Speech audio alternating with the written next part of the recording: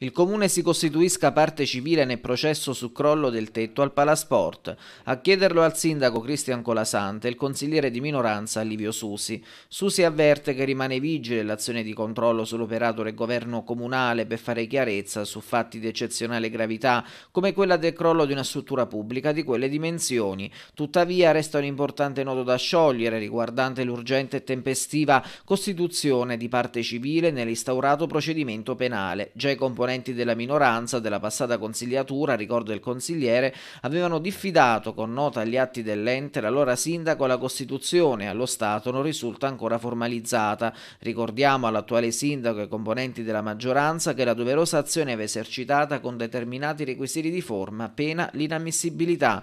Si tratta di un atto fondamentale perché permette al soggetto offeso di diventare parte attiva nel processo penale e ha effetto in ogni stato e grado di esso. Per il crollo del tetto a Palasport due persone sono state rinviate a giudizio, mentre per altri quattro tecnici è arrivata la sentenza di non luogo a procedere. Assolti l'ex sindaco Giuseppe Gianmarco da reato d'abuso d'ufficio e l'ex consigliere comunale Pasqualino Susi finito sotto inchiesta nella veste di tecnico perché il fatto non costituisce reato. Per l'altro ex primo cittadino Terenzio Dicenzo, il giudice per le indagini preliminari aveva disposto l'archiviazione.